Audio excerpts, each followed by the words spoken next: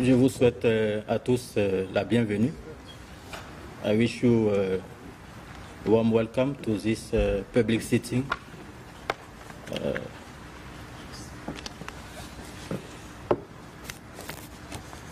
dedicated to the delivery of uh, the matter Sébastien Germain Javon versus Republic of Benin.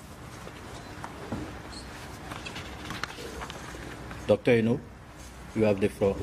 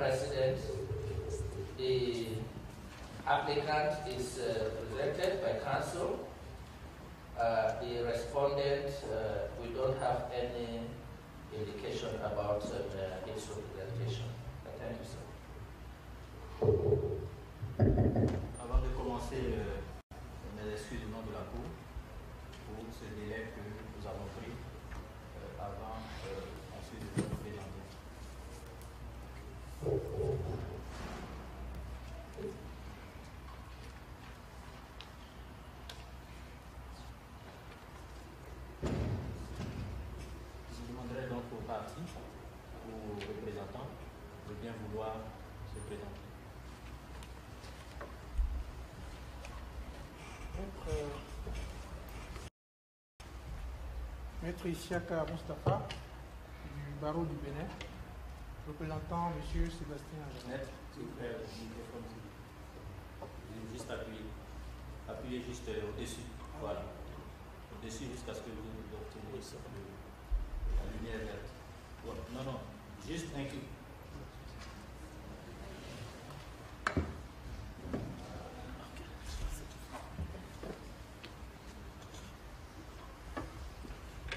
Merci Monsieur le Président. Euh, je m'appelle Isiaka Mustafa, je suis avocat au barreau du Bénin. Je suis le représentant de M. Sébastien Ajanet. Merci. Merci.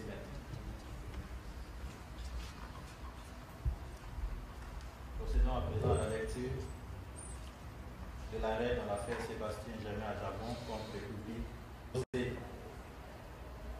de Sylvain Auré, président, Ben vice-président, Gérard Ngeko, El Hadj Rafa Ben Achou, Angelo V. Mathusé, Suzanne Menge, Marie-Thérèse Mukamoliza, Kudilan Chizumila, Shafika Ben Saoula, juge, et Robert Eno, greffier.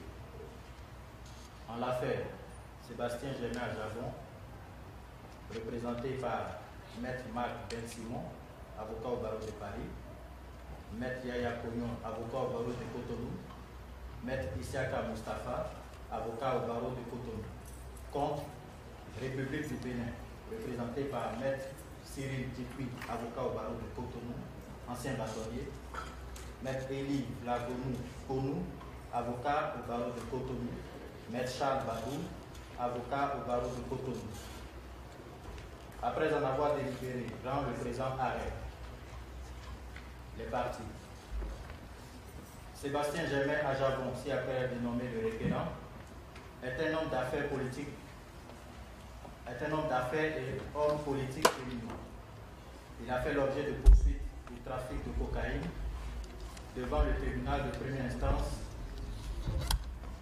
de première classe de Cotonou qu'il a, qu'il a relaxé, puis a été condamné à 20 ans de prison ferme par la Cour de répression des infractions économiques et du terrorisme, ci-après CRIET, nouvellement créée.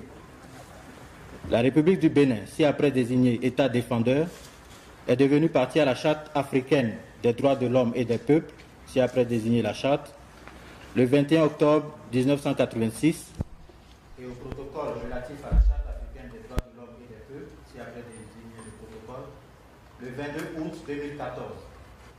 L'État défendeur a en outre déposé la déclaration prévue à l'article 34.6 du protocole par laquelle il accepte la compétence de la Cour pour recevoir les requêtes émanant des individus et des organisations Il ressort des pièces du dossier. Quand les 26 et 27 octobre 2016, la gendarmerie du port autonome de Cotonou et la direction des douanes béninoises ont été alertés par les services de renseignement et de la documentation de la présidence de la République du de la présence d'une quantité importante de cocaïne dans un conteneur de produits surgelés importé par la société Comptoir mondial de négoces, Common SA, dont le requérant est l'administrateur général. Sur la base de cette information, une procédure judiciaire a été ouverte contre le requérant et trois de ses, de ses collaborateurs dès le 28 octobre 2016 au trafic de 18 kg de cocaïne pure. Après huit jours de garde à vue, le requérant et les trois employés ont comparu devant la chambre correctionnelle du tribunal de première instance de première classe de Cotonou. Par jugement numéro 262, bar IFD-16 du 4 novembre 2016, deux employés ont été relaxés purement et simplement, tandis que le requérant et un autre employé l'ont été au bénéfice du doute. Deux semaines plus tard, l'administration des douanes a procédé à la suspension du terminal à conteneurs de la société de portage de transit et de consignation. Par la suite, la haute autorité de l'audiovisuel et de la communication a, a procédé le 28 novembre 2016 à la coupure des signaux de la station de radiodiffusion Soleil FM ainsi que ceux de la chaîne de télévision SICA TV. Le requérant a allégué qu'il est actionnaire majoritaire dans toutes ces sociétés.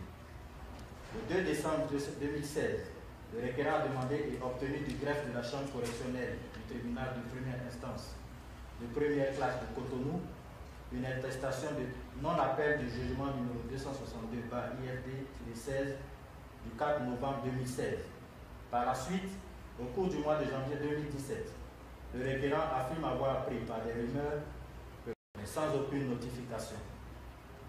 Le 27 février 2017, le requérant, estimant que l'affaire de trafic international de drogue et la procédure subséquente s'inscrivent dans le cadre d'un complot pour dire par l'État défendeur contre lui et qu'elle viole ses droits garantis et protégés par les instruments internationaux des droits de l'homme, a saisi la Cour de Séan. En octobre 2018, à la suite de la création d'une juridiction dénommée Cour de répression des infractions économiques et du terrorisme, le requérant a été de nouveau jugé par cette instance pour la même affaire de trafic international de drogue et condamné à 20 ans de prison ferme à 5 millions de francs CFA d'amende avec un mandat d'arrêt international. Le requérant a estimé que cette nouvelle procédure a également violé ses droits garantis par les instruments internationaux relatifs aux droits de l'homme. Il a alors demandé à la Cour de constater les violations dans le cadre de la procédure déjà pendante devant elle. Violation alléguée. Dans sa requête introduite le 27 février 2017, le requérant allègue que l'État défendeur a violé ses droits garantis par la Charte africaine des droits de l'homme et des peuples et par la Déclaration des droits de l'homme et du citoyen de 1789, et particulièrement ses droits suivants. Droit à une égale protection de la loi garantie par les articles 3, 2 de la Charte et 12 de la Déclaration des droits de l'homme et du citoyen de 1789 droit au respect de la dignité inhérente à la personne humaine garantie par l'article 5 de la Charte, en l'occurrence l'atteinte à son honneur et à sa réputation, droit à la liberté et à la sécurité de sa personne, énoncé à l'article 6 de la Charte et à l'article 7 de la Déclaration des droits de l'homme et du citoyen de 1789. Droit à ce que sa cause soit entendue, garanti à l'article 7 de la Charte.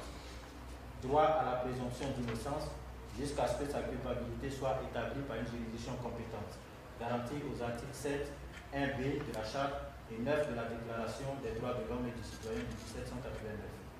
Droit de propriété garanti à l'article 14 de la Charte. Le devoir de l'État de garantir l'indépendance des tribunaux garanti à l'article 26 de la Charte. Dans ces nouvelles allégations soumises le 16 octobre 2018 à la Cour, après le prononcé de l'arrêt de la criette.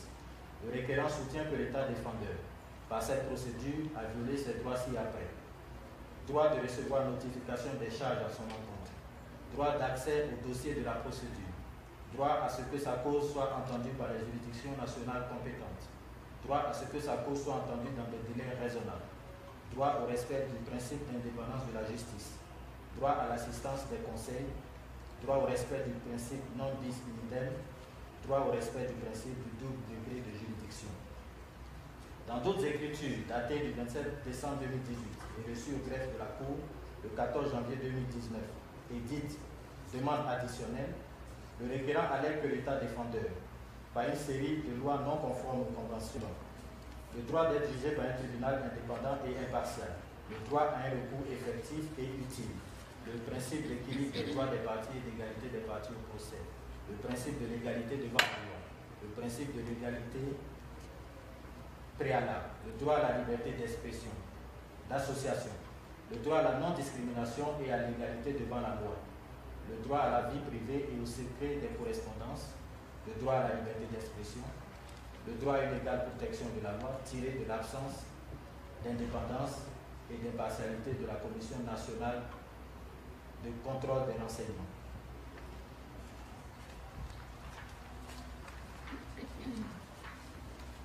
Mesure demandée par les parties.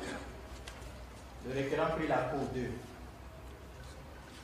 déclarer que la Cour est compétente, est compétente, déclarer la requête recevable, constater et déclarer fonder les violations alléguées, constater que lui, président du Conseil du patronat du Bénin, connu dans le monde des affaires, a vu sa réputation ternie dans le milieu des affaires. Constater qu'il est une personnalité politique, candidat aux élections, aux dernières élections présidentielles de mars 2016, ayant recueilli au premier tour 23% des suffrages et classé troisième juste après l'actuel chef de l'État du Bénin qui a eu 24%. Constater que cette affaire de trafic de drogue a jeté un discrédit sur sa personne et lui a causé des divers préjudices évalués à la somme de 550 milliards de francs CFA dont il demande réparation.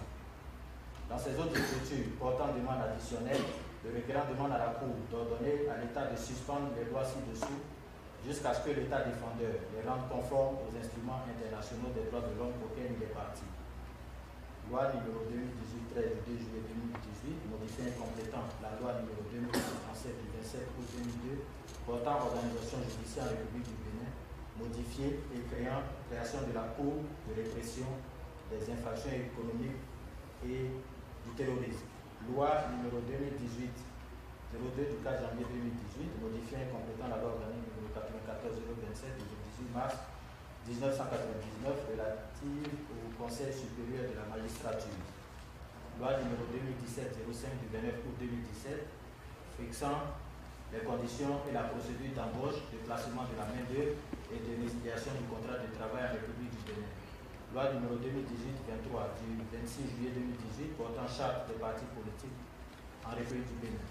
Loi, la loi numéro 2018-031 portant code électoral en République du Bénin. Loi numéro 2017-044 du 29 décembre 2017 relative au renseignement en République du Bénin. Loi numéro 17 numéro 2017-20 du 20 avril 2018 portant code du numérique en République du Bénin. Dans sa réponse à la requête ainsi qu'aux allégations soulevées par le requérant après l'arrêt de la criette, l'État défendeur demande à la Cour de se déclarer incompétente pour non-conformité de la requête à l'article 3 du protocole.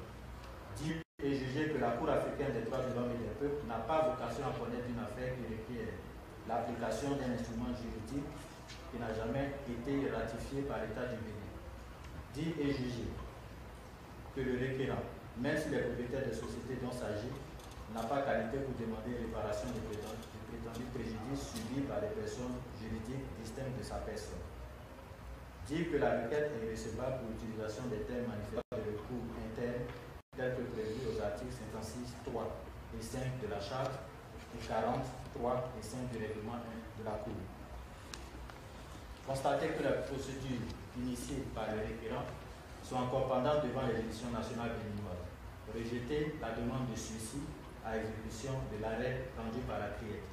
Dit et jugé que toutes les allégations de violation des droits du requérant soulevées dans la, présente affaire ne sont pas fondées. Rejeter toutes les demandes de réparation du requérant. Condamner le requérant à payer à l'État défendeur la somme d'un milliard 595 millions 850 000 francs CFA à titre de dommages et intérêts. La compétence, l'article 3.1 du protocole dispose que la Cour, et je cite, la Cour a compétence pour connaître toutes les affaires saisies concernant l'interprétation et l'application de la charte du présent protocole et de tout autre instrument pertinent relatif aux droits de l'homme et ratifié par les États concernés.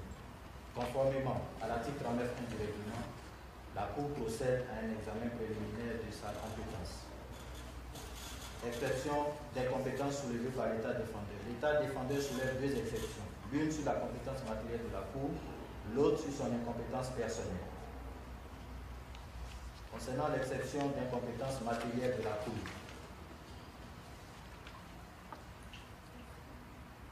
la Cour note que l'exception d'incompétence matérielle soulevée par l'État défendeur repose sur deux moyens.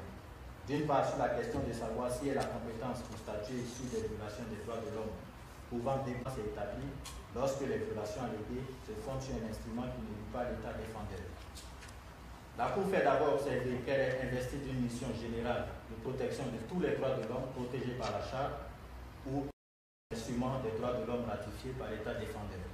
La Cour estime en outre que les violations des droits de l'homme peuvent, à des degrés divers, entraîner pour la victime une diversité de préjudices qui sont soit d'ordre économique, soit financier, matériel, moral ou autre. Les préjudices sont donc une conséquence de la violation d'un droit et leur nature ne détermine pas la compétence matérielle de la Cour.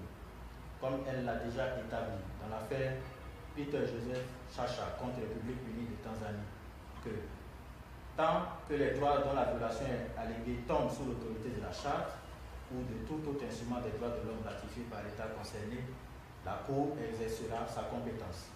En l'espèce, la Cour note que les préjudices commerciaux et politiques pour lesquels le référent demande réparation se rapportent à des droits garantis par la Charte, entre autres la présomption d'innocence, le droit à la liberté, le droit de propriété, le droit à la dignité et à la réputation, et le droit à une égale protection de la loi.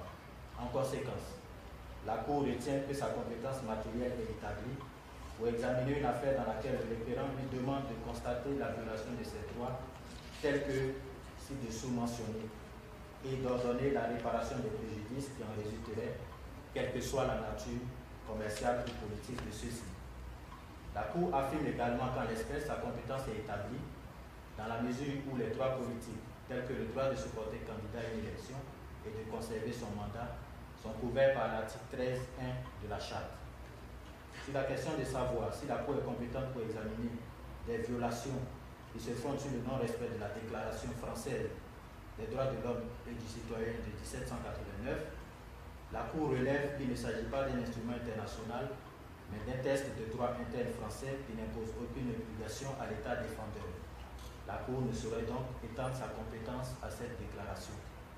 Par conséquent, la Cour rejette l'exception d'incompétence matérielle soulevée par l'État défendeur. Exception des compétences personnelles. La Cour fait observer que sa compétence personnelle couvre la qualité pour agir qui constitue le titre juridique en vertu duquel une personne agit en justice ou est investie du pouvoir de soumettre son litige à une juridiction. À ce titre, la Cour rappelle qu'elle a déjà établi qu'en tant que juridiction des droits de l'homme et des peuples, elle ne peut en principe connaître que des violations des droits des individus, des groupes d'individus ou des peuples sur saisine des entités mentionnées à l'article 5 du protocole, mais pas des droits des autres personnes morales de droit privé ou de droit public. En l'espèce, la Cour constate que le référent l'a saisi à titre personnel et non comme représentant des personnes morales et que les droits dont il allègue la violation sont des droits individuels. Elle constate également qu'en dépit du fait que le requérant soit actionnaire majoritaire et administrateur des sociétés, son action ne vise ni les autres actionnaires, ni les relations d'affaires qui le lient à ces derniers, ni une quelconque irrégularité dans l'existence ou le fonctionnement des dites sociétés. L'action du requérant tend à faire constater des atteintes à ses droits et ordonner la réparation des conséquences ou des préjudices directs qu'il aurait personnellement subis du fait des dites violations. De ce qui précède, la Cour conclut que toutes les exigences énoncées aux articles 5.3 et 34.6 du protocole relatif à la compétence personnelle sont remplies, dès lors que le référent est une personne physique qui agit escalité. En conséquence, la Cour rejette l'exception d'incompétence personnelle soulevée par l'État défendeur. Autres aspects de la compétence. La Cour observe que sa compétence temporelle et territoriale n'est pas contestée par l'État défendeur. De plus, rien dans le dossier n'indique qu'elle n'est pas compétente au regard de ces deux aspects. Elle constate donc qu'en l'espèce, elle est compétente sur le plan temporel, dans la mesure où les violations alléguées se sont produites après la ratification par l'État défendeur de la charte et du protocole, compétente sur le plan territorial, dans la mesure où les faits de l'affaire se sont déroulés sur le territoire d'un État parti au protocole, en l'occurrence l'État défendeur. Au vu de ce qui précède, la Cour conclut qu'elle est compétente pour connaître de la présente affaire. Sur la recevabilité. Au terme de l'article 6.2 du protocole, la, Cour statue sur la recevabilité des requêtes en tenant compte des dispositions énoncées à l'article 56 de la Charte. Conditions de recevabilité en discussion entre les parties. L'État défendeur soulève deux exceptions d'irrécevabilité de la requête, tenant l'une à l'usage du terme, de, termes outrageants et l'autre au non-épuisement des voies de recours internes. Exception tirée de l'utilisation de termes outrageants dans la requête.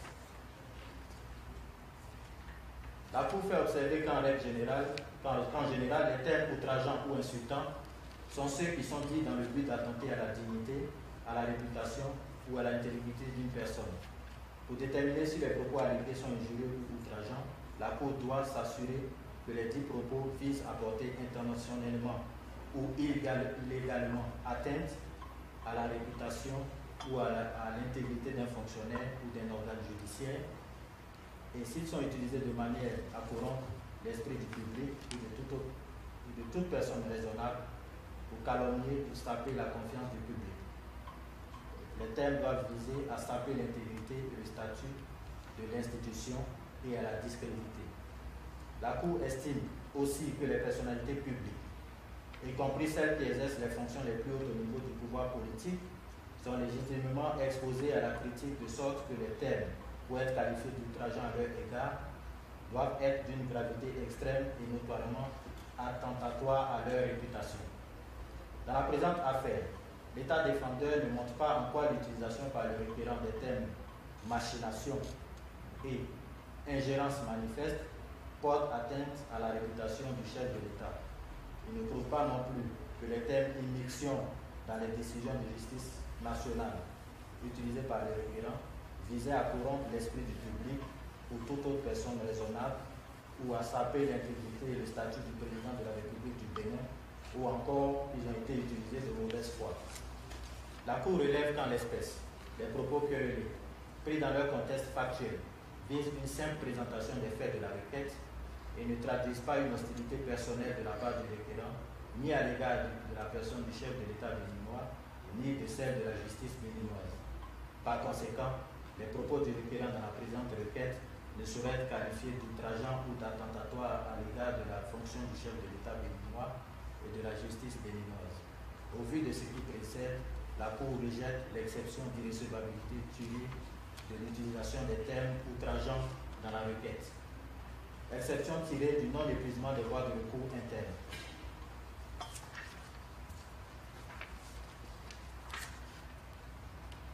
La Cour note que dans la présente affaire, l'État défendeur allègue l'existence de plusieurs voies de recours qu'il estime, les unes non exercées par le requérant et les autres en cours de procédure.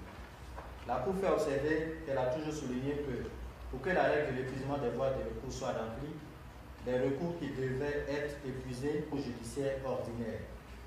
La Cour rappelle que l'épuisement des voies de recours internes signifie que l'affaire que le requérant entend porter devant l'instance internationale a été soulevée, au moins en substance, devant les instances nationales, si celles-ci existent, si elles sont adéquates, accessibles et effectives.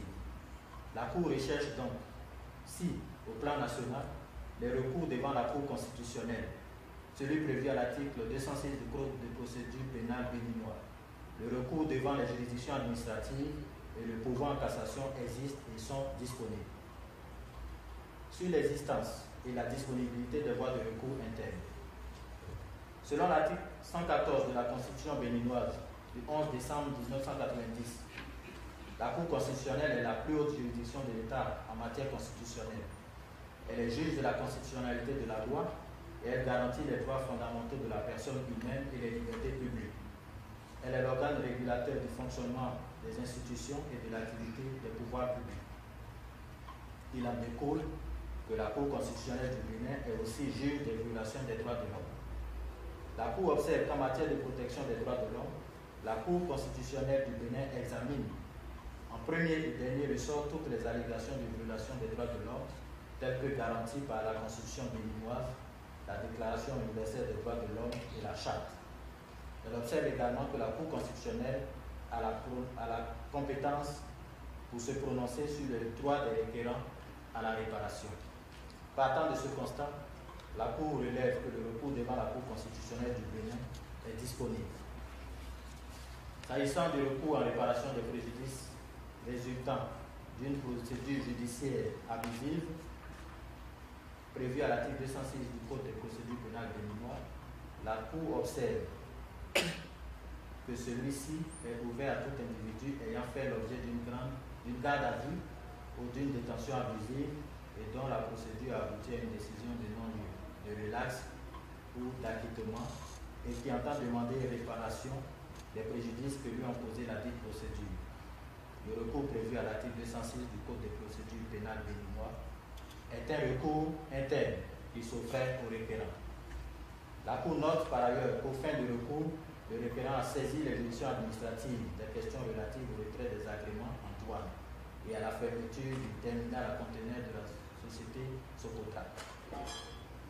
La Cour note enfin que le requérant a en outre exercé le pouvoir en cassation contre l'arrêt de la criette du 18 octobre 2018.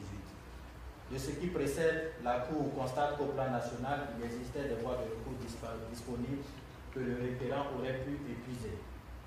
La Cour note cependant que les objections du requérant aux exceptions de l'État défendeur portent surtout sur l'efficacité de ces voies de recours internes et leur capacité à remédier aux violations alléguées.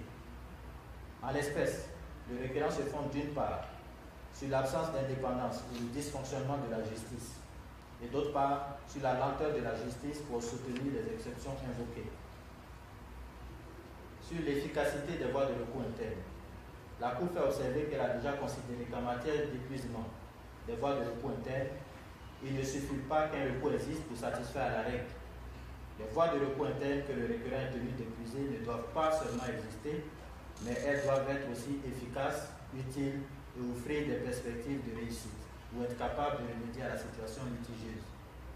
La Cour considère que l'analyse de l'utilité d'un recours ne s'accommode pas d'une application automatique et ne revêt pas un caractère absolu. Dans le même sens, la jurisprudence internationale, notamment la Cour européenne, a affirmé qu'en interprétant la règle de l'épuisement des, des voies de recours interne, elle a égard aux circonstances de la cause de sorte qu'elle tient compte de manière réaliste non seulement des recours prévus en théorie dans le système juridique de l'État défendeur, mais aussi du contexte juridique et politique dans lequel ce recours se situe, ainsi que la situation personnelle du requérant. La Cour note que la procédure judiciaire menée en 2016 et celle devant la Criette en 2018 ont entre elles un lien de continuation et la Cour va examiner la question de l'épuisement des voies de recours internes globalement en raison de ce lien de connexité. La Cour observe de manière générale et par rapport à tous les recours que le requérant aurait pu épuiser en 2016. Recours devant la Cour constitutionnelle, recours sur la base de l'article 206 du Code de procédure pénale, recours devant les juridictions administratives, que les circonstances qui ont entouré l'appel du procureur général et le jugement devant la Criette en 2018 confirme les appréhensions, les appréhensions du requérant sur leur efficacité. S'agissant en particulier du recours prévu à l'article 206 du Code de procédure pénale de mémoire, la Cour note qu'il y a eu un dysfonctionnement de la justice. La Cour relève à cet égard que les parties ont reconnu que l'appel interjeté par le procureur général contre le jugement du 4 novembre 2006, 2016 n'a pas été notifié au requérant et l'expédition au registre des appels du greffe du tribunal a été dressée le 26 décembre 2016, après que le requérant ait obtenu une attestation de non-appel et de non-opposition. Il apparaît de ce fait que l'appel du procureur général a finalement placé le requérant dans une situation de confusion qui ne lui permettait pas d'exercer le recours prévu à l'article 206 du Code de procédure pénale béninois, lequel, de ce fait, est devenu indisponible. Ainsi, le manquement à l'obligation de notification c'est mieux en une entrave à la mise en œuvre de l'obligation pour le requérant d'exercer les recours internes et de les épuiser. En ce qui concerne les recours devant les décisions administratives, la Cour relève que, contre les décisions prises par la HAC et par l'administration des douanes, le requérant a exercé deux recours en annulation pour excès de pouvoir. La Cour note également que les deux recours exercés respectivement sous la référence numéro COTO bar 2017 bar RP bar 01 759 et en date du 15 février 2016 n'ont donné lieu à aucune décision de justice, du moins jusqu'au jugement du requérant devant la criette, contribuant ainsi à alimenter la méfiance ou la suspicion sur l'efficacité de la justice. Les entraves à l'exercice des voies de recours ouvertes au requérant se sont également illustrées après l'arrêt rendu par la criette le 18 octobre 2018. Il ressort des pièces du dossier qu'après celui-ci, le pouvoir en cassation exercé par le référent n'a jamais été enclenché, faute pour le procureur spécial devant la criette de transmettre le dossier du référent à la Cour suprême.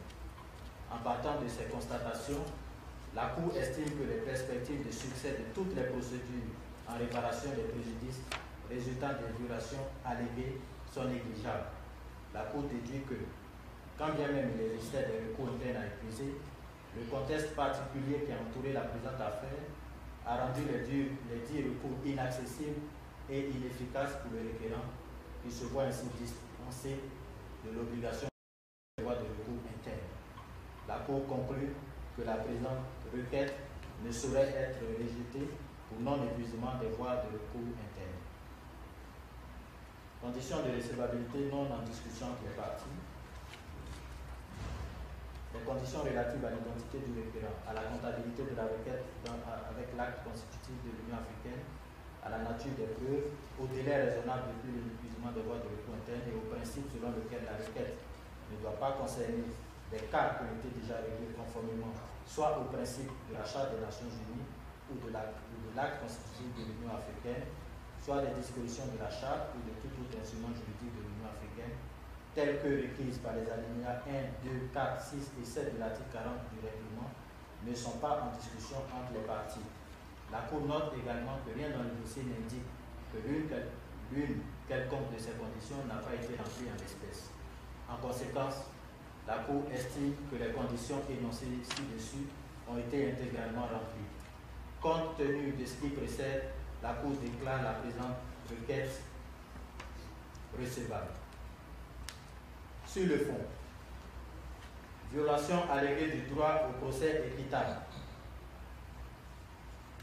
Le requérant allègue que ces droits garantis et protégés à l'article 7.1 de la Charte ont été violés sous plusieurs branches et met successivement le droit d'être jugé par une juridiction compétente, de recevoir notification, des charges à son encontre, d'accéder au dossier de la procédure, de ne pas être jugé deux fois pour le même fait, d'être jugé dans un délai raisonnable, d'être assisté par un conseil, d'exercer un recours effectif et utile et le droit à la présomption d'innocence.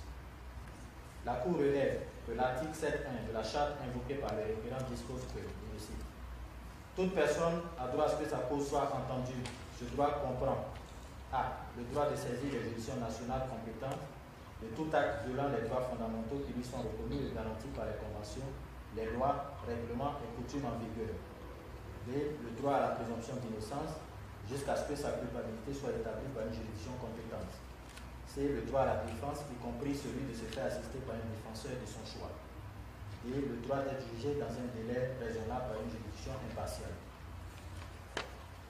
L'article 14.7 du pacte international pour les droits civils et politiques, quant à lui, dispose comme suit. je cite, Nul ne peut être poursuivi ou puni en raison d'une infraction pour laquelle il a déjà été acquitté ou condamné par un jugement définitif conformément à la loi et à la procédure pénale de chaque pays. La Cour fait observer que les dispositions de l'article 7 ci-dessus relèvent, toutes, relèvent toutes de l'exigence globale d'équité de la procédure, de sorte qu'elles sont reliées entre elles, se chevauchent fréquemment même si elles sont distinctes et peuvent s'apprécier différemment. Violation alléguée du droit d'être jugé par une juridiction compétente. La Cour note que la remise en cause de la compétence de la criette par le requérant repose sur la question de savoir si l'affaire de trafic international de drogue à haut risque dont elle a été saisie en septembre 2018 était une affaire pendante devant la Cour d'appel de Cotonou au sens de l'article 5 in de la loi numéro 2018-13 du 2 juillet 2018, selon lequel les affaires de jugement pendantes devant les cours sont transférées par celle-ci à la criette. En l'espèce, la Cour note que le requérant allègue que le jugement numéro 262 1 FD 16 du 4 novembre 2016 a acquis la force de la chose jugée faute d'appel ou d'opposition, tandis que l'État défendeur soutient que le dit jugement a fait l'objet d'un appel. La Cour note que pour se déclarer compétente, la CRIET a considéré que l'affaire de trafic international de drogue qui a impliqué le requérant et qui a fait l'objet du jugement précité est une affaire en instance dans la mesure où ce jugement a fait l'objet d'un appel interjeté par le procureur général.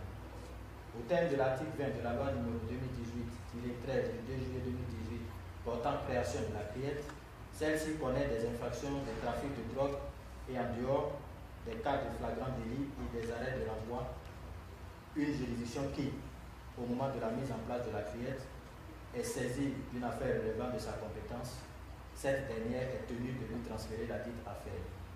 Il ressort des plaidoiries devant la Cour de Sion que, suivant déclaration en date du 27 décembre 2016, le procureur général près la Cour d'appel de Cotonou a relevé appel du jugement.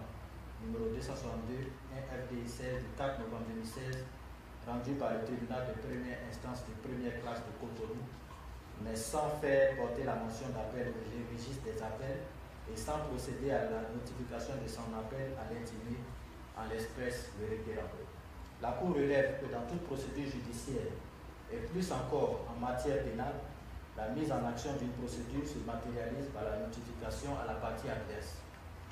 C'est par elle qu'un fait, un acte ou une procédure est porté à la connaissance de la personne concernée. La notification revêt une si grande importance dans la procédure qu'elle met en demeure les destinataires qui se sont dès lors concernés par la procédure et qu'elle lui offre la possibilité d'y participer. La Cour estime, à la suite de la jurisprudence internationale, que c'est la notification officielle émanant de l'autorité compétente du reproche d'avoir commis une infraction pénale qui constitue l'accusation et qui engage l'action pénale. En l'espèce, la notification de l'appel interjeté contre le jugement du 4 novembre 2016 était essentielle et se voulait être le point de départ de la volonté de l'appelant de voir discuter à nouveau l'affaire. La notification n'est pas seulement un acte d'information, elle produit des effets de droit. L'absence de notification de l'appel au requérant vide le recours exercé par le procureur général de toute son efficacité. Et la Cour a déjà établi que le recours efficace est celui qui produit l'effet escompté. La Cour relève, en outre, que depuis le 26 décembre 2016 jusqu'à la saisine de la criette en, septembre 2018, l'appel du procureur général n'a jamais été évoqué devant la Cour d'appel de Cotonou et aucun acte de procédure n'a non plus été accompli. Le procureur général n'a pas tenté de procéder à l'expédition de l'appel son inscription dans le registre des appels au greffe du tribunal de première instance de première classe de Cotonou. Il n'a pas non plus procédé à l'enrôlement de l'affaire devant la chambre correctionnelle de la Cour d'appel, comme l'exigent les règles de procédure. Il reçoit en outre des pièces du dossier, hormis les rumeurs qui ont circulé, c'est suite à la convocation émise par la CRIET le 27 septembre 2018 que le requérant sera saisi d'une notification émanant d'une autorité judiciaire pour discuter à nouveau de l'affaire qui a fait l'objet du jugement du 4 novembre 2016. De ce qui précède l'appel du procureur général en date du 26 décembre 2016 n'est pas opposable au requérant. Par conséquent, la criette a été saisie d'une affaire qui ne peut pas être qualifiée d'affaire en cours devant la Cour d'appel et être opposable au requérant. À la date de la saisine de la criette, le jugement que l'État défendeur dit avoir fait l'objet d'appel avait déjà acquis l'autorité de la chose de juger.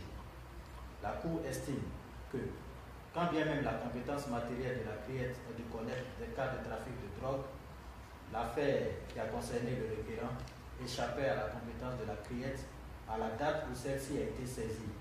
Il s'ensuit qu'en l'espèce, la criette n'était pas compétente pour connaître de l'affaire. De ce qui précède, la, Cour conclut que le droit du requérant d'être jugé par une juridiction compétente garantie à l'article 7.1a de la Charte a été violé. Violation alléguée du droit à la défense. D'abord, le droit à une enquête complète pour faire valoir les éléments de preuve.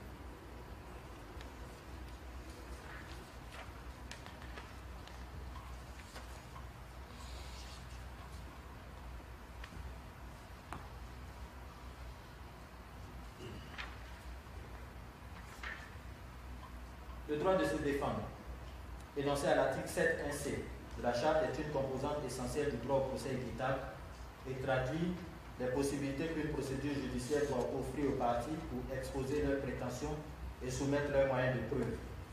La Cour fait observer que le domaine de l'article 7.1c s'applique à toutes les étapes de la procédure d'une affaire, depuis les enquêtes préliminaires jusqu'au prononcé du jugement, et ne se limite pas uniquement au déroulement des audiences. La Cour note au soutien de ces allégations, le requérant évoque d'une part la comparution immédiate et d'autre part la procédure d'enquête. S'agissant de l'argument selon lequel le renvoi en comparution immédiate pourrait porter atteinte au droit de la défense du requérant, la Cour note que la comparution immédiate n'est pas en soi une violation du droit à la défense. S'agissant de la question des enquêtes, la Cour rappelle que l'exigence du droit de se défendre implique la possibilité pour l'accusé de proposer des preuves contraires à celles invoquées par l'accusation, d'interroger les témoins à charge ou de citer ces témoins. La Cour estime en outre que si l'enquête avait été menée comme indiqué au paragraphe 144, le requérant avait des chances d'être acquitté purement et simplement plutôt qu'au bénéfice du doute. La Cour estime que l'enquête telle qu'a été menée n'a pas permis au requérant d'organiser sa défense. Il ressort du dossier qu'au niveau de l'enquête préliminaire, le vœu du requérant de voir celle-ci remonter toute la chaîne de transport du conteneur, depuis le point de départ jusqu'au port autonome de Cotonou, ou de procéder à d'autres investigations de nature scientifique qui seront déterminantes quant à l'origine du produit illicite, n'a pas été pris en compte. La Cour conclut que n'ayant pas souscrit à une telle exigence, l'État défendeur a violé le droit du requérant à la défense garanti à l'article 7.1c de la Charte. Violation alléguée du droit de recevoir notification des charges et d'accéder au dossier de la procédure. La Cour fait observer qu'en toute procédure, et plus encore en matière pénale, l'objectif de la notification des charges est de permettre à la personne poursuivie d'être informée de la nature des accusations portées contre elle, afin qu'elle puisse préparer convenablement sa défense. Le droit de prendre connaissance du dossier d'une procédure est lui aussi un aspect important du droit au procès équitable et est lié au droit de la défense et plus particulièrement au principe de l'égalité des armes entre les parties. Les juridictions ont donc l'obligation de ménager un, juste équilibre entre les parties dans la perspective de leur permettre de connaître et de commenter tous les éléments de preuve produits par l'autre partie. En l'espèce, la Cour note que l'État défendeur ne conteste pas que devant la criette, non seulement le requérant n'a pas reçu communication du dossier, mais aussi que ses avocats se sont vus refuser sa consultation sur place. Dans ces conditions, la Cour considère que le requérant a été privé de la possibilité d'être parfaitement informé de la procédure, du reproche qui lui est fait et de comprendre l'enjeu de la cause. En effet, le fait de mentionner sur le rôle de la Cour que le requérant comparaît pour infraction de trafic international de drogue à risque ne suffit pas pour décharger la justice de l'obligation de communiquer les pièces du dossier, que ceux-ci soient portables ou pérables. Ce faisant, la Cour estime que la criette a totalement privé le requérant des facilités nécessaires à la préparation et à la présentation de ses arguments dans les conditions qui lui garantissent l'équité et l'équilibre du procès. Par conséquent, le droit du requérant d'être informé des charges qui pèsent sur lui et d'accéder au dossier de la procédure garantie à l'article 14 3A du Pacte international des droits civils et politiques ont été violés. Violation alléguée du droit à l'assistance d'un conseil.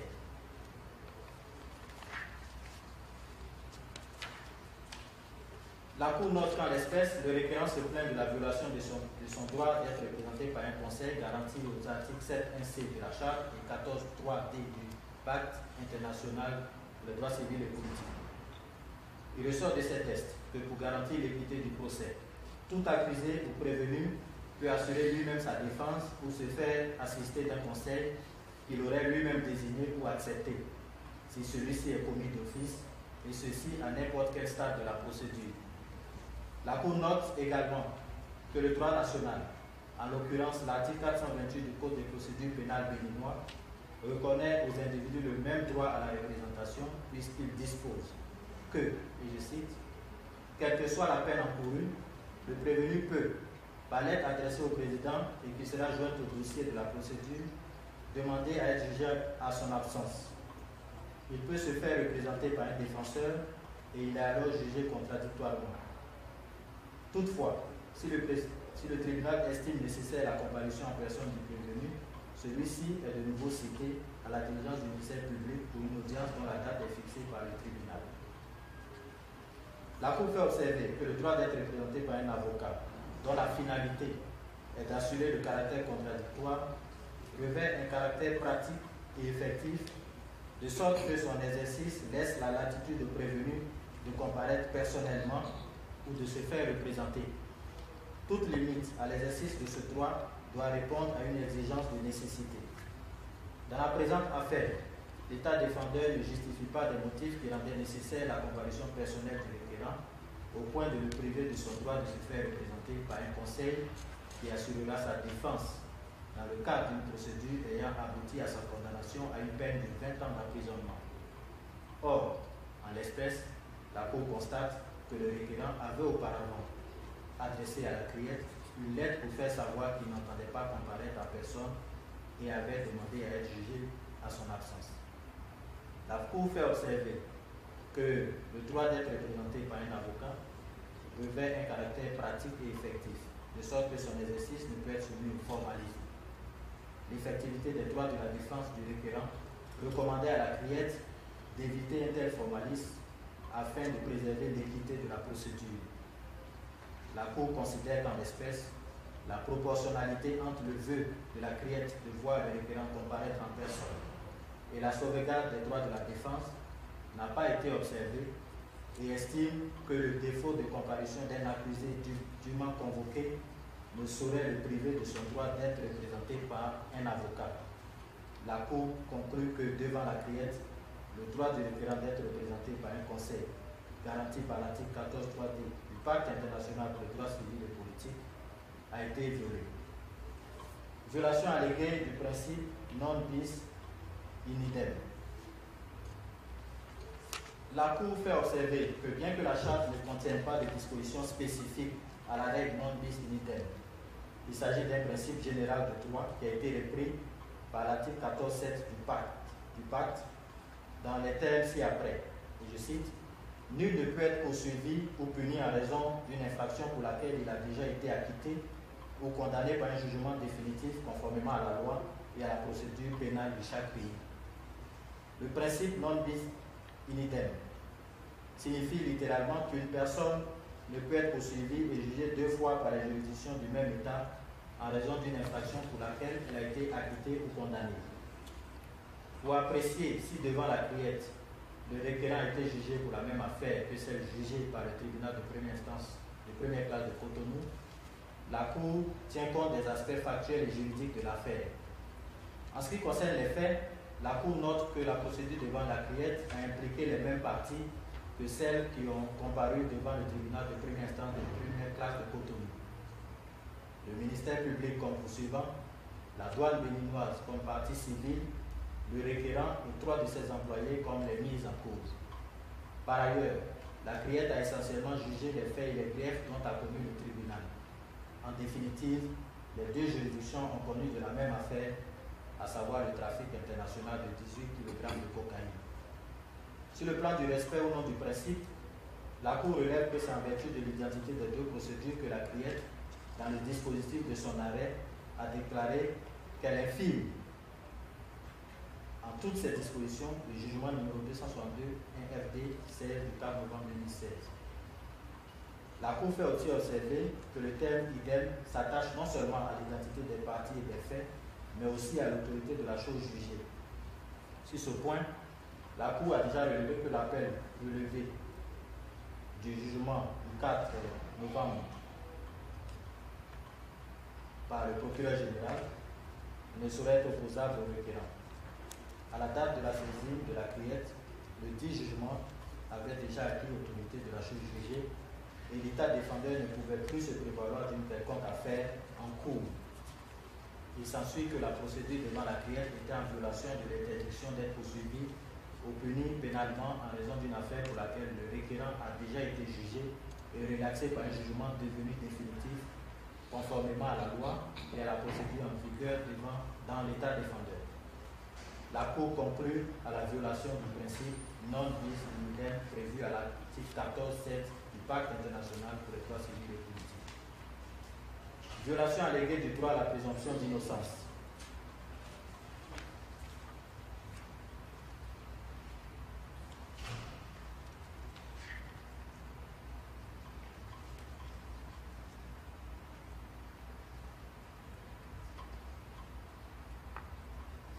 Ressort des pièces du dossier que dès le 28 octobre 2016, le commandant de la brigade de gendarmerie du port de Cotonou a annulé une conférence de presse au cours de laquelle il a accusé le référent d'importer de la cocaïne qu'il a estimé à 9 milliards de francs CFA. Par ailleurs, en juin 2017, d'autres anciens hauts gradés du corps de Cotonou affirmeront sans équivoque que, je cite, il est la cause de, de malheurs. C'est lui-même qui a placé sa drogue pour provoquer une insurrection du peuple en cas d'arrestation, et cela a été dénoncé par ses amis dans une vidéo. Ils sont tous au courant que la famille Ajavon est dans ce business. En l'espèce, les déclarations publiques de certaines autres autorités politiques et administratives sur l'affaire du trafic international de drogue avant et après le jugement de relax au bénéfice du doute du 4 novembre 2016 étaient de nature à susciter dans l'esprit du public des suspicions de culpabilité du requérant, voire une survivance des suspicions de culpabilité. S'agissant de l'allégation du requérant selon laquelle sa relaxe au bénéfice du doute porte atteinte à son droit à la présomption d'innocence, la Cour relève qu'une décision de relaxe au bénéfice du doute ne viole pas la présomption d'innocence. Il n'en serait ainsi que si les termes de la décision prêtent à croire à une culpabilité de la personne relaxée au bénéfice du doute. En l'espèce, la Cour ne relève aucune ambiguïté dans les termes du jugement en date du 4 novembre 2016 et conclut que le dit jugement de relax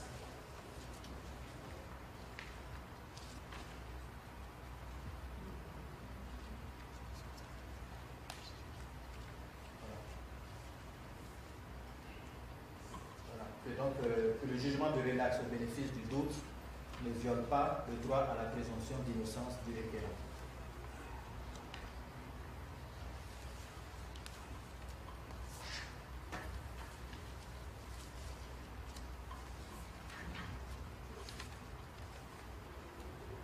L'article 7.1b de la charte dispose que toute personne a droit à ce que sa cause soit entendue. Ce droit comprend la présomption d'innocence jusqu'à ce que sa culpabilité soit établie par une juridiction compétente. La présomption d'innocence signifie que toute personne poursuivie pour une infraction est, a priori, supposée de l'avoir commise, et ce, aussi longtemps que sa culpabilité n'est pas établie par un jugement irrévocable. Il s'ensuit que l'étendue du droit à la présomption d'innocence couvre toute la procédure allant du moment d'une indiciaire définitive et que la violation de la présomption d'innocence d'une personne peut être constatée même en l'absence d'une condamnation définitive lorsque la décision judiciaire la concernant reflète le sentiment qu'elle est coupable. En l'espèce, le requérant soutient que son droit à la présomption d'innocence a été violé tout le long de la procédure judiciaire par le fait que sa relaxe soit décidée au bénéfice du doute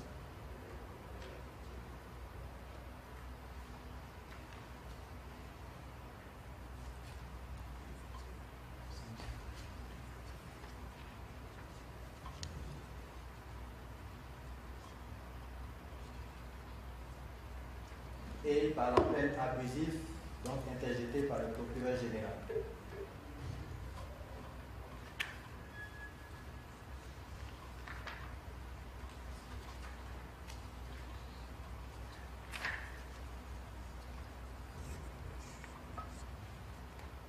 S'agissant de l'allégation selon laquelle l'appel euh, du procureur général pourrait violer le droit du requérant à la présomption d'innocence, la Cour estime que l'appel d'un jugement, même d'un jugement de relax pur et simple, est un droit et ne saurait être considéré comme une atteinte à la présomption d'innocence. Toutefois, l'absence de notification de l'appel du procureur général au requérant avant la saisine de la criette ce dernier dans les suspicions de culpabilité. Violation alléguée du droit d'être jugé dans un délai raisonnable.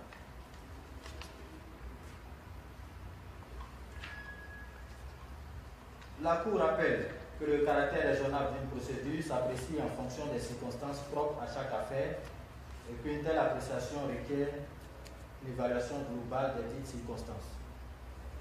En pareil cas, la Cour apprécie la durée de la procédure en prenant en compte certains critères, en particulier la complexité de l'affaire, le comportement du requérant, celui des autorités compétentes ainsi que l'enjeu du litige pour les parties. En l'espèce, la Cour relève que le requérant se plaint de la durée qui s'est écoulée entre le jugement du 4 novembre 2016 et la procédure devant la criette et qui correspond à l'instance devant la Cour d'appel sur l'appel du procureur général. Sur ce point, la Cour a déjà relevé que devant la Cour d'appel, aucun acte de procédure n'a été accompli depuis l'appel du procureur général et qu'en l'absence même de notification de l'appel du requérant, le dit appel n'est pas opposable à ce dernier. À cet égard, aucune conséquence d'une procédure entachée d'un vice de procédure substantielle et examiner celle-ci si celle-ci avait respecté les exigences du délai raisonnable. La Cour conclut que l'allégation du requérant est sans objet. Violation alléguée du droit à un double degré de juridiction. La Cour fait observer que le droit de faire examiner sa cause par une juridiction supérieure est prévu par l'article 14.5 du Pacte international pour les droits civils et politiques qui dispose comme suit. Toute personne déclarée coupable d'une infraction a le droit de faire examiner par une juridiction supérieure la déclaration de culpabilité et la condamnation conformément à la loi. La Cour relève que l'exigence du double degré de juridiction est absolue en matière pénale et s'impose, quel que soit le degré de gravité de l'infraction ou la sévérité de la peine encourue par l'individu. Dans la présente affaire, la Cour constate qu'alors que devant la criette, le requérant a été jugé pour une infraction pénale et condamné à une peine d'emprisonnement de 20 ans, il lui était impossible de faire examiner en fait et en droit la déclaration de culpabilité par une juridiction supérieure. La Cour note qu'en l'espèce, seul le recours en cassation était ouvert au requérant. À cet égard, la Cour note qu'il ne ressort nullement des dispositions de l'article 20 de la loi portant création de la que celle-ci statue comme une juridiction d'appel. De plus, dans l'hypothèse actuelle, le recours en cassation qui vise à faire, à faire examiner les aspects formels ou juridiques du verdict sans tenir compte des faits n'est pas suffisant en vertu de l'article 14.5 du Pacte international pour les droits civils et politiques. En l'espèce, le défaut ou l'absence de possibilité de réexamen approprié des déclarations de culpabilité de condamnation prononcée par la criette est contraire au droit garanti à l'article 14.5 du pacte. De ce qui précède, la Cour conclut que les dispositions de l'article 19 alinéa 2 de la loi portant création de la CRIET constituent une violation par l'État défendeur du droit du requérant de faire réexaminer la déclaration de culpabilité et sa condamnation par une juridiction supérieure. Violation alléguée du droit à une égale protection de la loi, du droit à l'égalité devant la loi et du droit à la non-discrimination.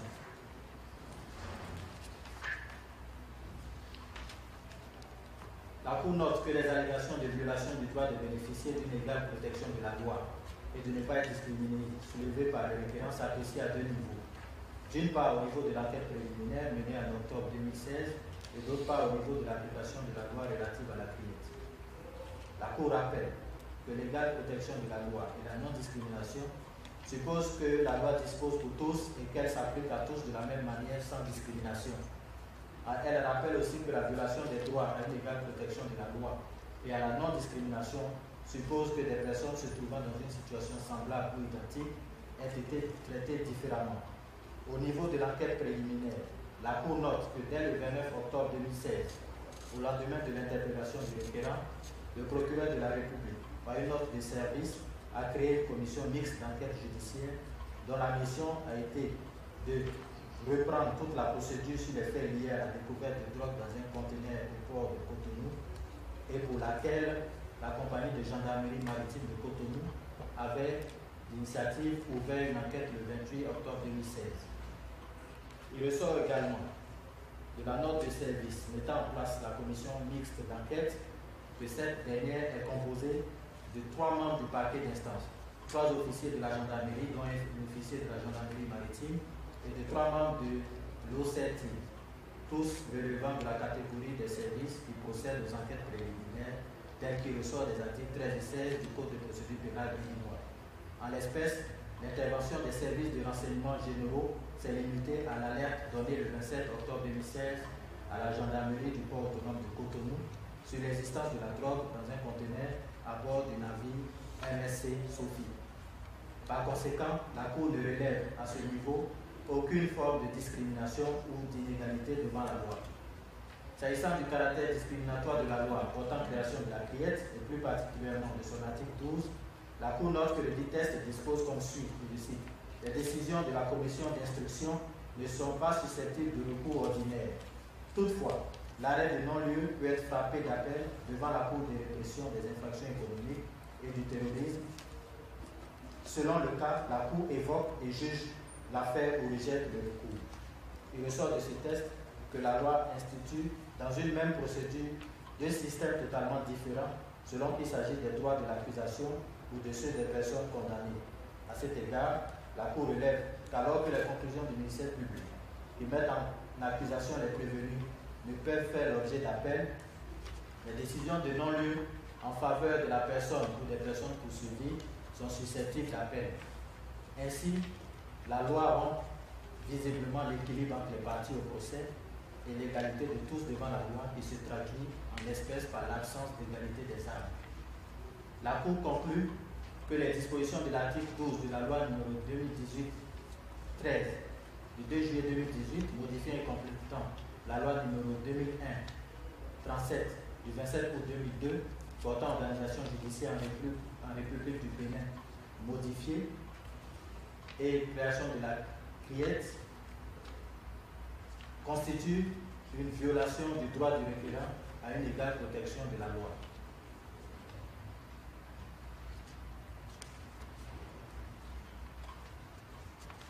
Violation alléguée du droit à la liberté et à la sécurité de sa personne.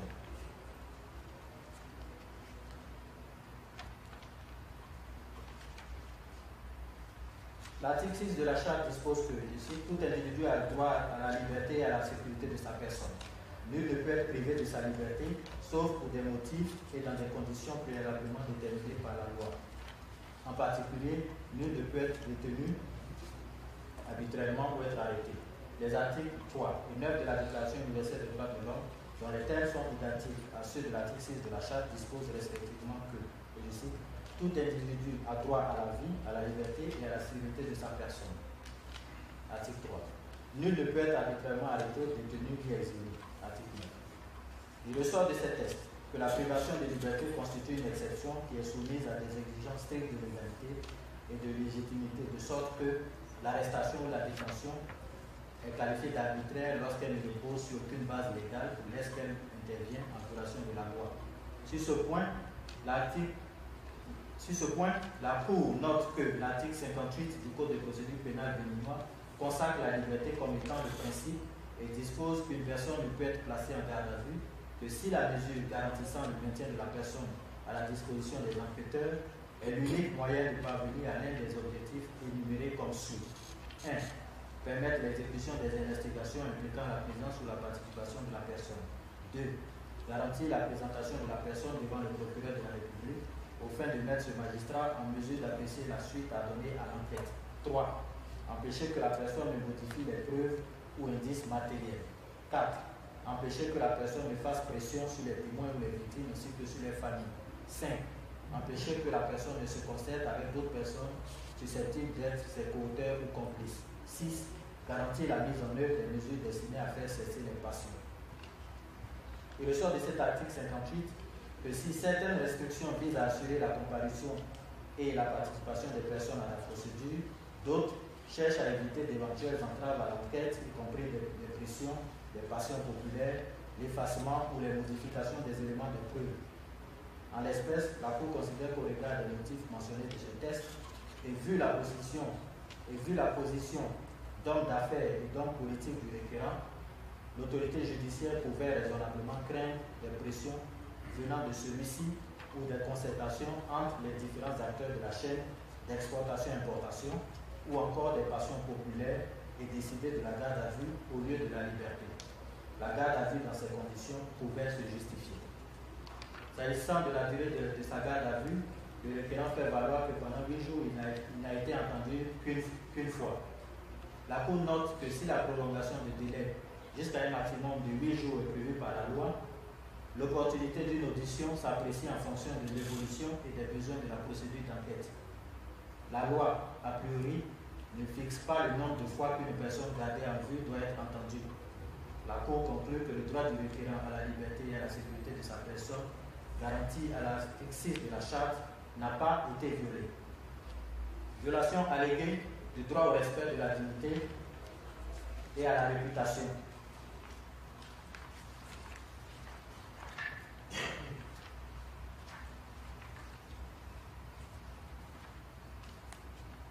La Cour note que le requérant soulève d'une part que les conditions de son arrestation ainsi que le jugement de relâche au bénéfice du doute ont porté atteinte à sa dignité et d'autre part que les propos tenus par le chef de l'État ont taché sa réputation et son honneur. Allégation selon laquelle les conditions de l'arrestation du ont porté atteinte à sa dignité. La Cour note que faute pour la charge de préciser le moment, la forme et le contenu de l'information à donner à une personne pour lui expliquer les raisons de son arrestation, la jurisprudence internationale considère que l'information doit être complète, intelligible et qu'elle doit être donnée dans un délai très court. L'arrestation doit donc reposer sur des motifs plausibles, c'est-à-dire sur des faits ou des renseignements propres à persuader un observateur objectif que la personne arrêtée peut avoir commis une infraction. De ce fait, la Cour procède à une analyse au cas par cas, eu égard aux circonstances particulières de chaque affaire. Dans le cas d'espèce, le requérant a été arrêté le 28 octobre 2016 au sortir d'une conférence de presse qu'il venait d'animer sur l'affaire de découverte de cocaïne. Dans ces circonstances, la Cour estime que même en l'absence de convocation préalable, le requérant, au moment de son interpellation, n'ignorait pas les motifs pour lesquels les agents de la gendarmerie du corps de qui ont entamé l'enquête, étaient venus l'appréhender. La Cour estime également que le défaut de convocation préalable ne peut pas être considéré comme une violation du droit de l'individu dès lors que les circonstances d'une affaire la gravité de l'infraction ou la célérité de la procédure peuvent rendre possible une arrestation immédiate. Les motifs de l'arrestation, dans de tels cas, peuvent être donnés verbalement et sur le champ au moment de l'arrestation.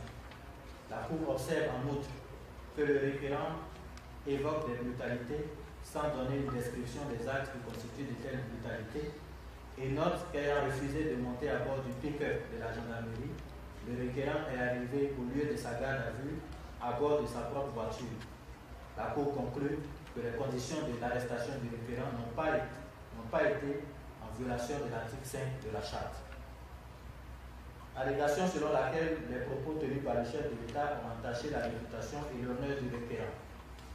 L'article 5 de la charte dispose que, je cite, tout individu a droit au respect de la dignité inhérente à la personne humaine et à la reconnaissance de sa personnalité juridique.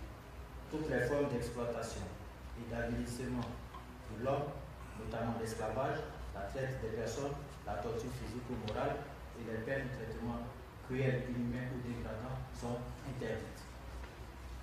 Il ressort des pièces du dossier, notamment des procès verbaux de transcription de supports audio et audiovisuels, qu'à plusieurs occasions, après le jugement du 4 novembre 2016, le chef de l'État a eu à se prononcer sur l'affaire du trafic de cocaïne, sans lever l'équivoque sur le fait que le référent avait été relaxé au bénéfice du doute.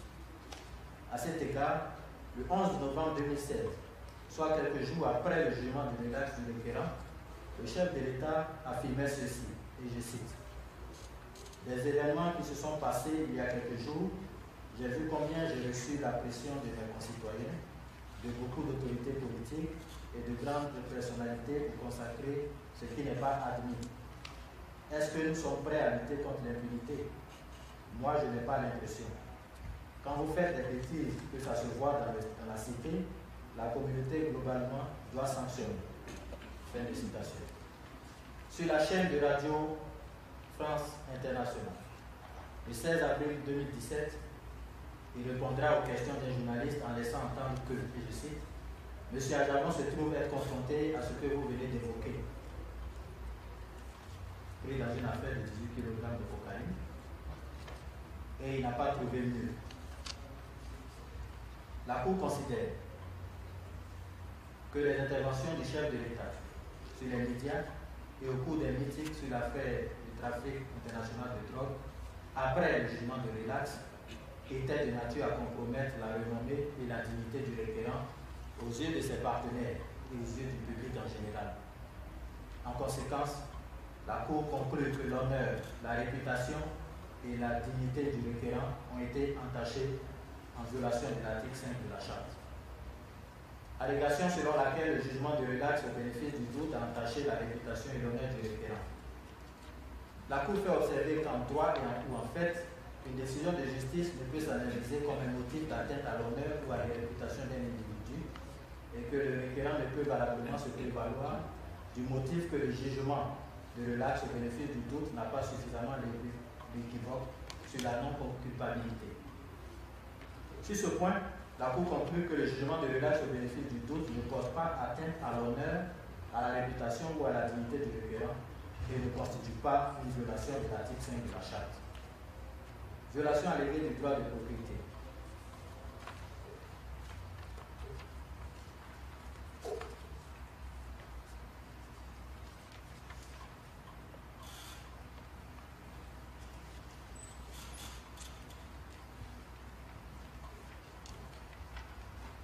de décision de reverse culpabilité du 4 novembre 2016 pour détruire les entreprises dont il est propriétaire, en l'occurrence la société Socotrac, sa station de radio, ainsi que sa chaîne de télévision.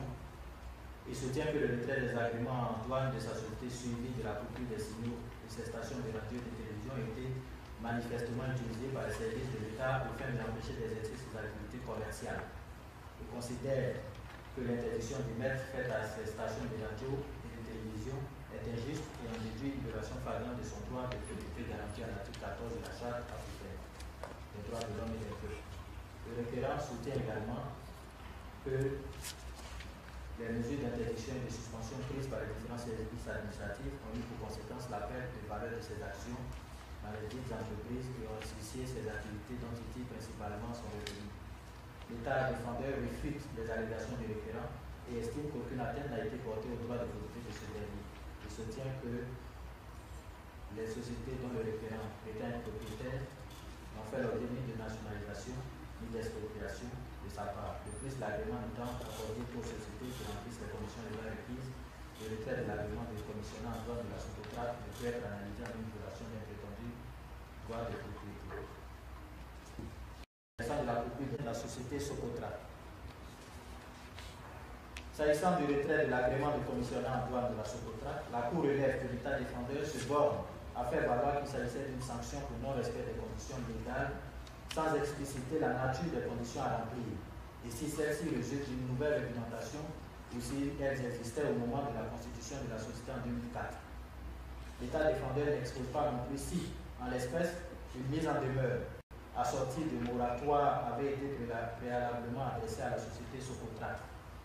La Cour note en outre que contrairement à l'argument avancé par l'État défendeur, les lettres en date du 21 et 23 novembre 2016 portant respectivement suspension du terminal à conteneur de la société Socotra et retrait de l'agrément de commissionnaire en douane de la société Socotra indiquent expressément que les dites mesures sont prises, et je cite, suite à la découverte de 18 kg de cocaïne, produit prohibé, dans un conteneur disant contenu des gésiers de dinde importés par la société commune est destiné à être transféré sur le terminal à conteneur du référent. Au regard des motifs exposés dans les deux lettres, dans les deux lettres citées ci-dessus, la Cour estime que c'est à tort que l'administration des douanes a pris les deux décisions le 21 et 23 novembre 2016, alors que déjà, le 4 novembre 2016, le tribunal de première instance de première classe de Cotonou, statuant sur cette affaire de 18 kg de cocaïne, avait relaxé le référent. La Cour conclut que l'État défendeur a violé l'article 14 de la charte en empêchant le référent d'exercer son activité commerciale et de jouir des revenus qu'il en tire. Violation alléguée de l'article 14 de la charte en ce qui concerne la radio Soleil FM et CKTV. S'agissant de la coupure des signaux d'émission de la radio Soleil FM et de la chaîne de télévision CKTV, la Cour note que les décisions ayant entraîné les violations alléguées ont été prises par l'autorité de régulation des médias au mépris des règles de forme et des procédures normales en vigueur. Il ressort des pièces du dossier qu'avant la décision de la HAC de mettre fin aux activités des médias en cause et d'apposer des scellés sur les portes de la télévision CKTV, la HAC informé à la réglementation en vigueur qui voudrait que le requérant titulaire des autorisations soit mis en demeure et qu'elle attende de constater l'inobservation des conditions qui lui incombaient de remplir. La Cour conclut qu'en procédant à la fermeture de la radio Soleil FM et de la télévision CKTV, l'État défendeur a violé les droits du requérant prévus à l'article 14 de la Charte. Violation alléguée du devoir de l'État de garantir l'indépendance des tribunaux.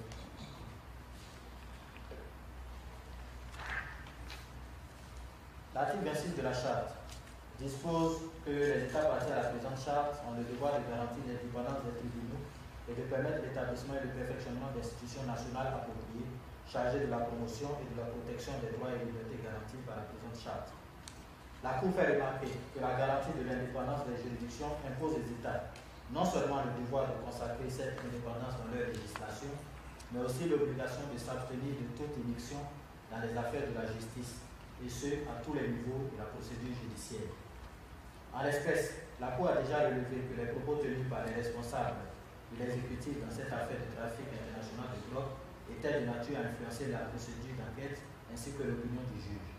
Il en a été ainsi particulièrement lorsque, le 2 octobre 2018, alors que la procédure devant la criette était déjà engagée contre le référent, le ministre de la Justice a publiquement déclaré que, je cite, par, rapport à l'affaire Ajavon, la criette est compétente pour connaître de ce dossier. Fin de citation. Dans leur contenu, les propos du ministre ne s'apparentent pas à une déclaration d'ordre général sur la compétence de la criette, mais plutôt à une affirmation sur la compétence de cette juridiction en lien avec une affaire spécifique pendant devant elle. Le fait qu'il ait ajouté que les juges, sont, les juges souverains auront l'occasion de dire le droit n'enlève rien au caractère affirmatif de ces propos sur la compétence de la création. À cet égard, la Cour estime que le pouvoir exécutif s'est immiscé dans les fonctions du juge, seule habilité pourtant à statuer sur sa compétence. La Cour conclut qu'en déclarant ainsi la compétence de la criette pour connaître spécifiquement d'une affaire dont elle est saisie, le ministre de la Justice, membre de l'exécutif, s'est immiscé dans les fonctions du juge en violation de l'article 26 de la Charte. Allégation de non-conformité des lois nationales aux instruments internationaux relatifs aux droits de l'homme ratifiés par l'État défendeur. La Cour fait observer qu'elle a examiné la conformité de certains articles de la loi portant création de la CREAT aux normes internationales au paragraphe 200 à 208 et 209 à 219 du présent arrêt. En ce qui concerne la conformité des autres lois soumises par le référent, la Cour estime que l'examen requiert l'existence d'un prolongement ou, tout au moins, d'une connexité entre elle et la requête initiale. Sur ce point, la Cour relève que la requête, objet du présent arrêt, a été introduite pour lui demander de constater la violation des droits du référent dans le cadre des procédures judiciaires et administratives engagées contre ce dernier dans une affaire de trafic international de drogue afin d'en ordonner les réparations s'il y a lieu. Au regard de l'objet de la requête ci-dessus indiquée, la Cour relève que les demandes additionnelles du référent n'ont aucun lien de connexité avec la présente requête la Cour conclut que les demandes additionnelles ne sont pas justifiées, faute d'un lien avec la requête initiale. Sur les réparations, le requérant allait que l'affaire de trafic de drogue lui a causé une série de préjudices évalués à 550 milliards de francs CFA, dont il demande la réparation. Il expose qu'il a subi des préjudices économiques et moraux et soutient que cette procédure lui a occasionné des pertes d'opportunités d'affaires et a terni son image et sa réputation. L'État défendeur refuse toute idée de réparation au profit du référent et estime qu'aucune des conditions requises en droit pour obtenir réparation n'est remplie. Il soutient qu'il ne suffit pas d'évoquer un préjudice pour obtenir réparation, mais il faut que celui-ci présente un caractère suffisamment certain et qu'il y ait un lien entre le préjudice et le fait générateur. L'État défendeur demande à la Cour de condamner le référent à lui payer la somme de 1 595 850 000 francs CFA à titre de dommage. L'article 27 du protocole, l'article 27.1 du protocole dispose que, je cite, lorsqu'elle estime qu'il y a eu violation d'un droit de l'homme ou des peuples, la Cour ordonne toutes les mesures appropriées afin de remédier à la situation, y compris le paiement d'une juste compensation ou l'octroi d'une réparation. À cet égard, l'article 63 du règlement dispose comme suit, la Cour statue sur la demande de réparation introduite en vertu de l'article 34.5 du présent règlement dans l'arrêt par lequel elle constate une violation d'un droit de l'homme ou des peuples ou si les circonstances l'exigent dans un arrêt séparé. Dans la présente affaire et en application des dispositions de l'article 63 ci-dessus, la Cour décide qu'elle rendra sa décision sur les réparations à une phase ultérieure de la procédure. Sur les frais de procédure, le requérant prit la Cour d'ordonner à l'État défendeur de lui rembourser les frais de procédure qu'il a engagés au niveau de procédure nationale et devant la Cour de CA. L'État défendeur refuse toutes les, toutes les demandes du requérant et demande à la Cour de les déclarer non fondées. L'article 30 du règlement prévoit que, sauf décision contraire de la Cour, chaque partie supporte ses frais de procédure. Dans la présente affaire, la Cour décide qu'elle statuera sur les frais de procédure à une phase ultérieure. Dispositif.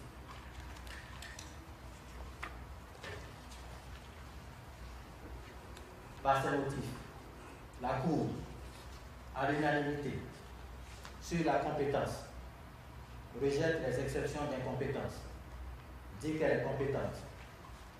Sur la recevabilité, rejette les exceptions de recevabilité, déclare la requête recevable, déclare que les demandes additionnelles relatives à la loi portant création de la CRIET et à la procédure devant la CRIET soumise le 14 janvier 2019 à l'exception de celles mentionnées au paragraphe 6 ci-dessous, ont une connexité avec la requête initiale et sont recevables. Déclare que les autres demandes additionnelles soumises le 14 janvier 2019 n'ont aucun lien avec la requête initiale et sont donc irrecevables. Sur le fond, déclare sans objet l'allégation du requérant selon laquelle il n'a pas été jugé dans un délai raisonnable dit que l'État défendeur n'a pas violé le droit du requérant à l'égalité devant la loi garantie par l'article 3 de la charte devant le tribunal de première instance de première classe de Cotonou. Dit que les conditions d'arrestation et la garde à vue du requérant n'étaient pas en violation de l'article 5 de la charte. Dit que l'État défendeur n'a pas violé le droit du requérant à la liberté et à la sécurité de sa personne prévu à l'article 6 de la charte. Dit que l'État défendeur a violé le droit du requérant à une égale protection de la loi garantie à l'article 3 de la Charte, en ce que l'article 12 de la loi du 2, juillet 2018 portant création de la CRIET n'établit pas l'égalité entre les parties.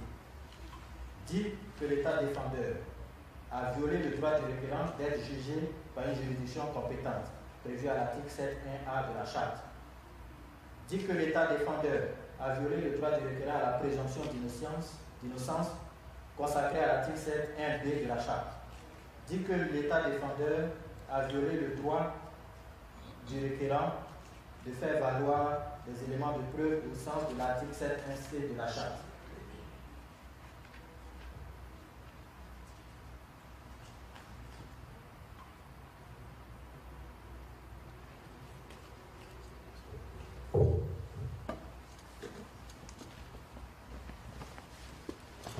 Dit que l'État défendeur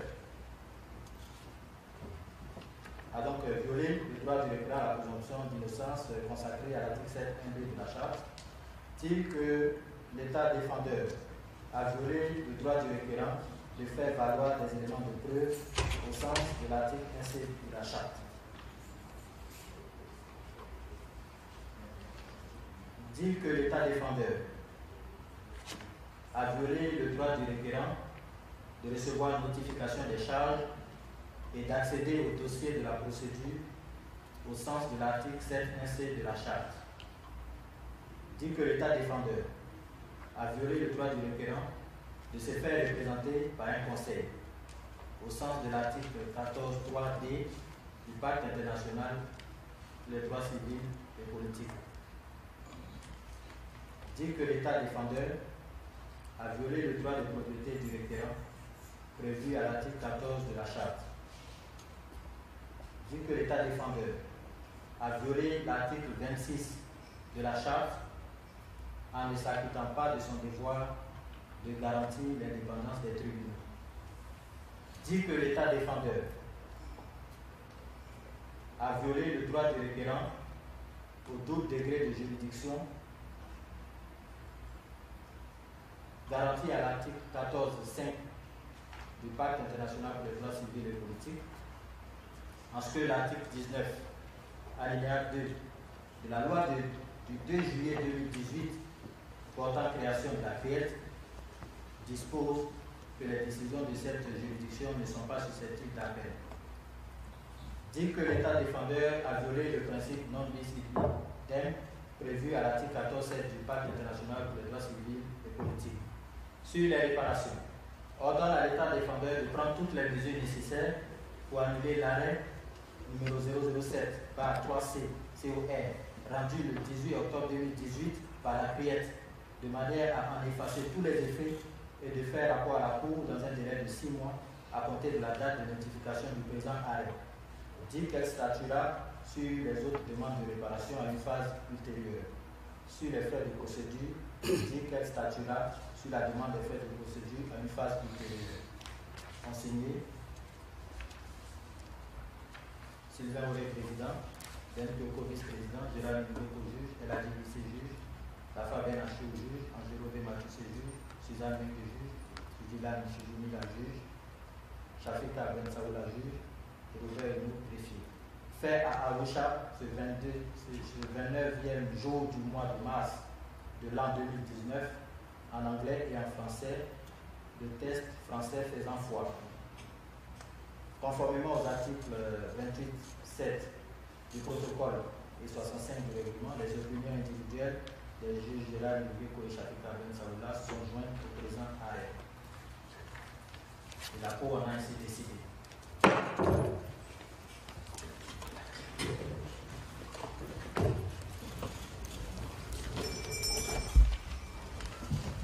four.